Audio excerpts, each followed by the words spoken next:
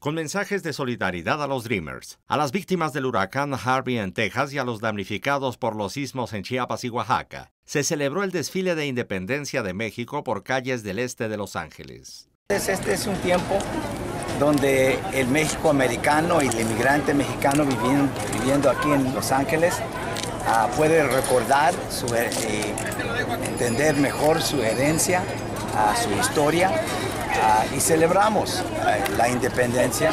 En el desfile participaron el cónsul de México en Los Ángeles, Carlos García de Alba, y Cuauhtémoc Cárdenas, que representó al jefe de gobierno de la Ciudad de México, Miguel Ángel Mancera, quien había sido designado gran mariscal.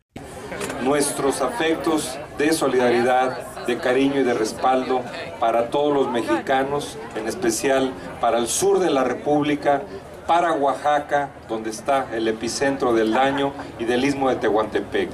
Más de 40 contingentes de varios estados de México hicieron el recorrido en los más de 3 kilómetros de la avenida César Chávez, en el desfile con más tradición y asistencia que conmemora la independencia mexicana en la Unión Americana.